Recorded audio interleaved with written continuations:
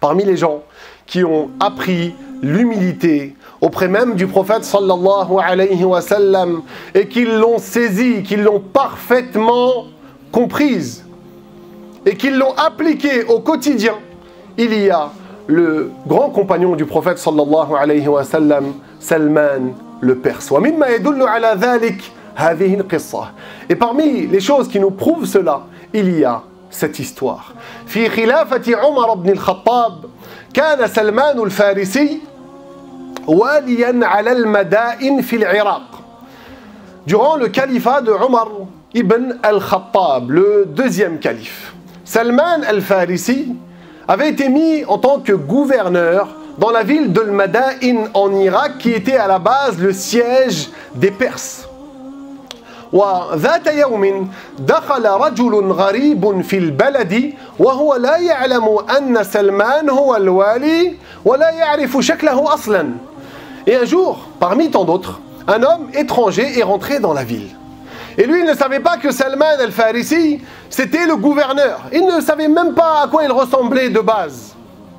لأن سلمان الفارسي ما كان يتميز عن الآخرين بلباس أو شيء آخر كان زاهدا وترك الدنيا فالذي يراه لا يظنه واليا على المسلمين Parce que Salman n'était pas quelqu'un qui était différent des autres, qui se différenciait des autres avec sa tenue vestimentaire. C'était quelqu'un de modeste, quelqu'un d'ascète, quelqu'un qui avait délaissé le bas monde. Un tel point que si tu le vois, si tu le voyais, tu n'aurais pas pensé que c'était le gouverneur des musulmans.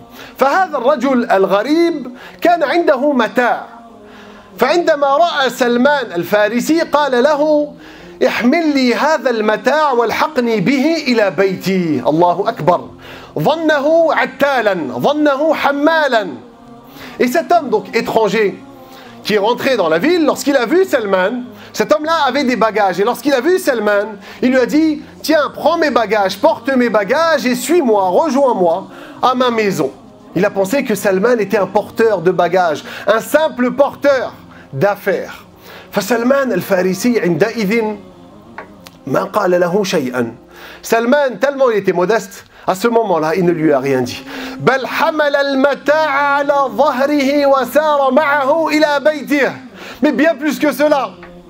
Il a pris les affaires, il a pris ses bagages, il les a mis sur son dos. Et il l'a suivi jusqu'à sa maison.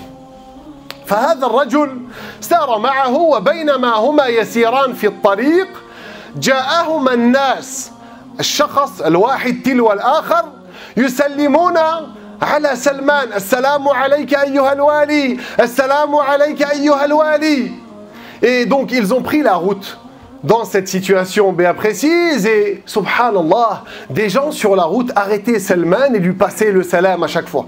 Ils disaient salam alayka, ô toi le gouverneur, salam alayka, ô toi le gouverneur. وعندئذ فهم الرجل الغريب أن الذي يحمل متاعه هو الوالي للمسلمين فمباشرة اعتذر إليه وطلب منه العفو.